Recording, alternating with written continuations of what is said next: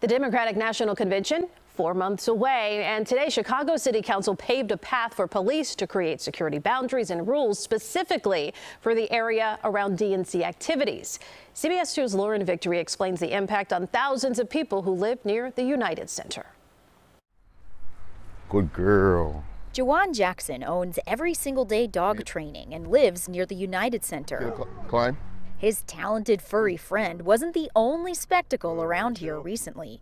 I came out with my dogs one day and I saw police, FBI, um, and two other uh, governmental organizations. All right, let's roll. He didn't ask, but they were probably canvassing the neighborhood with flyers about the Democratic National Convention. Information was also passed out in the South Loop near McCormick Place last week.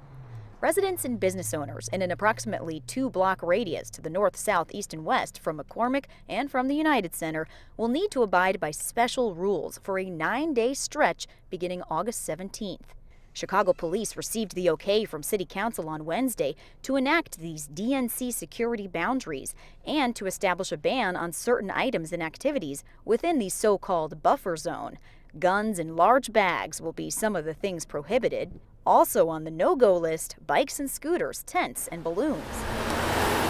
Much to Jackson's surprise, animals will not be permitted in the secure area. Police have said that's for the dog and dog owner's safety. It doesn't bother me too much because I have a yard, so I'm a little bit more flexible with then that. Then things know. sunk in for the dog trainer. So do you think they're not even going to let me use this field right here? This is going, okay, all right, then it, it could be a, a slight inconvenience then if that's the case, for sure. Manny Cope and the barbershop he co-owns are on the cusp of the buffer zone on Ashland. I think it's going to be busy, but probably going to be pretty hectic too. Going to getting getting in, getting out, getting to lunch.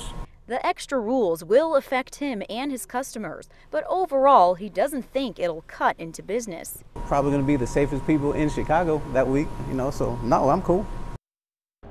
Unless things get really hairy, the barbershop won't be closing down. Other businesses like this child care center tell me they're still waiting for more information before deciding if it'll stay open. Reporting on the windy near West Side, I'm Lauren Victory, CBS 2 News. The Secret Service did not directly comment on the buffer zone ordinance, telling CBS 2 its security plans and prohibited items list are still being worked on.